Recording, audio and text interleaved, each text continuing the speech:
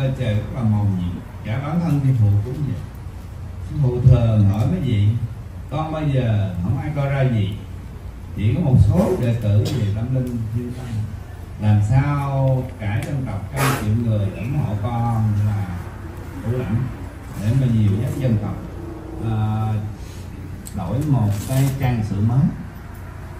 Mấy vị nói ngày nào á cha kêu con á, bước thì còn bước. Tới đó cơ trời đi rất là huyền diệu di diệu không thể nói trước được. Nhưng con coi lời cuộc đời của con con coi cả cái thế giới này những gì con nói có sai không? Cuộc đời con như thế nào? Xung quanh con những gì nào? Rồng. Biết bao nhiêu ông rồng hộ con? Hộ mấy gì? Không có chuyện um, ấy à, để hộ một người như thế phụ nên cơ trời thu cả bản thân hôm nay cái sư lúc sư phụ mới hỏi nó gì? Có phải bầu tử không có phải vậy không vậy? Đâu ở đông lâm không ai nói. Cho nên cả bản thân sư phụ những gì nói năm năm nay cả đức thầy ngậm kia về thăm sư phụ cũng vậy.